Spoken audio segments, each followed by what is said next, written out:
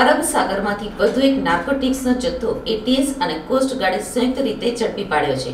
ભારતીય બોટમાંથી એકસો તોતેર કિલો ડ્રગ્સનો જથ્થો પકડી બે આરોપીની ધરપકડ કરી છે. અરબી સમુદ્રમાં ડ્રગ્સની હેરાફેરી કરનારા ઉપર સુરક્ષા એજન્સી ધોસ બોલાવી રહી છે.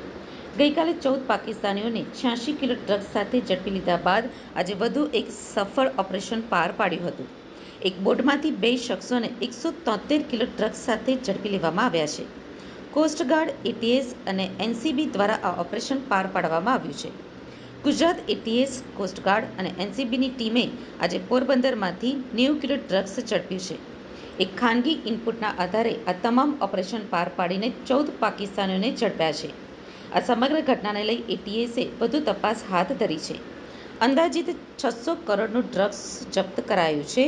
પાકિસ્તાની બોટ ચાલકે એનસીબી ઉપર બોટ ચડાવવાનો પ્રયાસ પણ કર્યો હતો.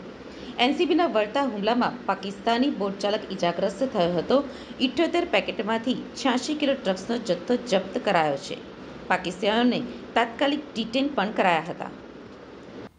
અગાઉ મેં જે વાત કરી કે દરિયાઓમાં નાર્કોટિક્સની હેરાફેરી બાબતમાં ગુજરાત પોલીસની એન્ટી ટેરરિસ્ટ સ્કવોડને એક એવી સારી નેટવર્ક ઇન્ટેલિજન્સની આ લોકોએ બનાવી ચૂક્યા છે કે જેના કારણે ઉપરા ઉપરી ગુજરાત પોલીસને બે દિવસમાં બે મોટા કેસ કરવાની સફળતા પ્રાપ્ત થઈ છે.